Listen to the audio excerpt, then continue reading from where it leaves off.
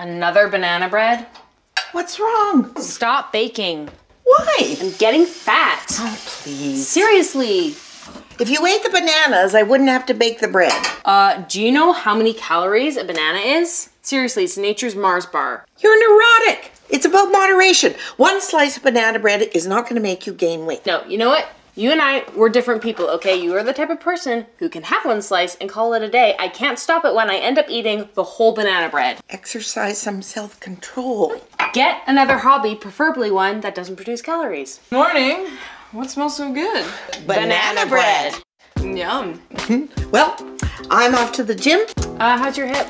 stiff and sore, but if you don't want to lose it, use it. Bye, girls. Bye. Bye. Do you want some?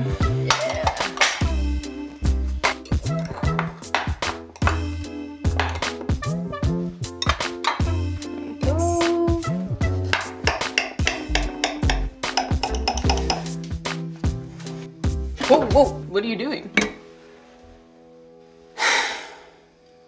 Okay, you know that I tell my mom everything, like everything. yeah, I'm aware. Well, what I'm about to confide in you is potentially one of my deepest secrets. I'm ashamed to even share it. Please don't judge me or tell my mom. Babe, what's going on? Okay, whenever my mom bakes something, I have this rule that whatever I eat, like a slice of loaf or a muffin, a cookie, mm. whatever, I have to put the exact same amount down the garburator. What?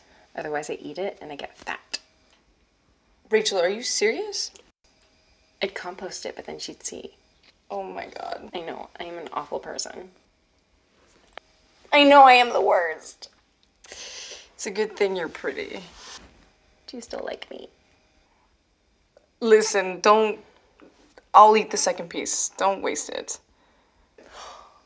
Thank you.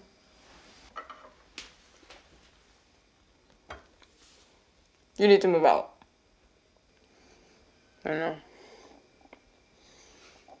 Yesterday. I'm, I'm,